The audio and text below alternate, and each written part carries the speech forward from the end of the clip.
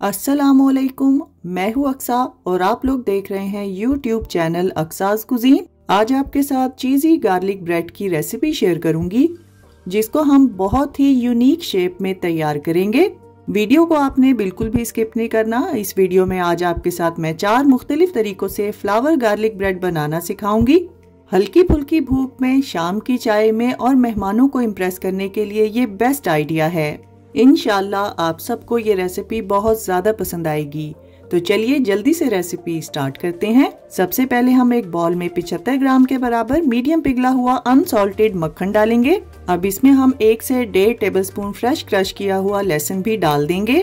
दो से तीन टेबल स्पून बारीक कटा हुआ हरा धनिया भी इसमें शामिल करेंगे और एक टीस्पून के बराबर कुटी हुई लाल मिर्चें भी इसमें डाल देंगे और एक ही टीस्पून के बराबर आपने इसमें ओरेगनो का इस्तेमाल करना है। अब इन तमाम चीज़ों को मक्खन के साथ अच्छी तरह से मिक्स करेंगे और इसको एक साइड पे रखेंगे। तो चलिए अगले स्टेप की तरफ़ चलते हैं। यहाँ पर हम एक वाइट ब्रेड का एक स्लाइस लेंगे और एक तेज छुरी की मदद से आपने इसके किनारों पर तिरछे कट्स लगाने हैं। जिस तरह से आपको वीडियो में नज़र आ रहा है, बिल्कुल आपने इसी तरह से ही कट्स लगाने हैं। वीडियो में आप लोग देख सकते हैं कि ऊपर वाली साइड पर मैं हल्की सी स्पेस छोड़ रही हूँ। इसको छोड़ना बहुत ज़रूरी है, तभी आप लोग इसकी परफेक्ट शेप बना सकेंगे। अब जो गार्लिक बटर का मिक्सचर हमने बनाकर रखा था, वो ब्रश की मदद से आपने ब्रेड स्लाइस पे अच्छी तरह से अप्लाई करना है। इस रेसिपी में आप लोग गार्लिक का इस्तेमाल अपनी मर्ज़ी के हिसाब से भी कर सकते हैं।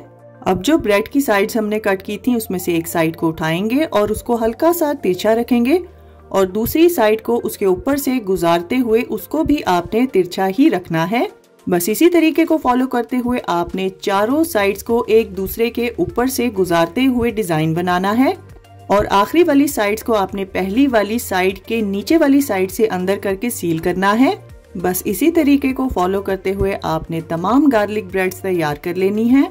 मैंने जो रेसिपी आज आपके साथ शेयर की है उससे आप 6 से 8 गार्लिक ब्रेड आसानी से तैयार कर सकते हैं। ब्रेड की फ्लावर शेप बनाने के बाद जो सेंटर में होल है, उसमें हम थोड़ी सी मोजरेला चीज़ डालेंगे। और इसको खूबसूरत लुक देने के लिए मैंने यहाँ पर काले जैतून का इस्तेमाल किया है।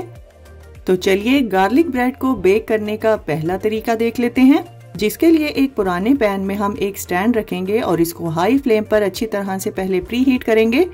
फिर आपने इसमें गार्लिक ब्रेड को रखना है और मीडियम टू हाई फ्लेम पर इसको 8 से 10 मिनट के लिए बेक करेंगे।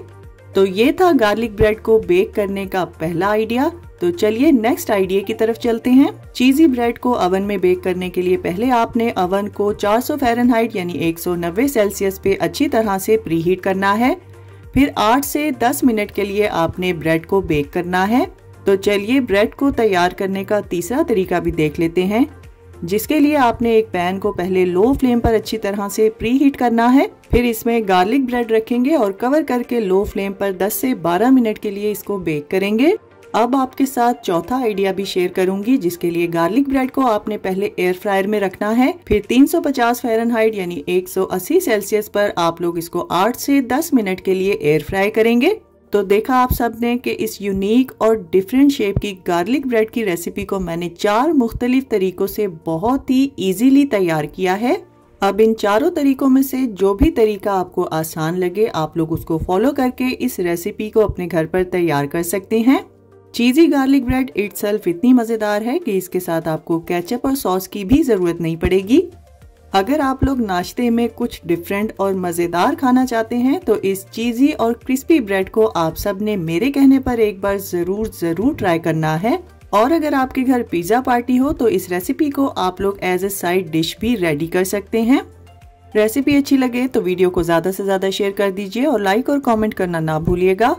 तो फ्रेंड्स ट्राई समथिंग डिफरेंट अपना बहुत सारा ख्याल रखिएगा, दुआओं में मुझे याद रखिएगा। अल्लाह हाफिज़।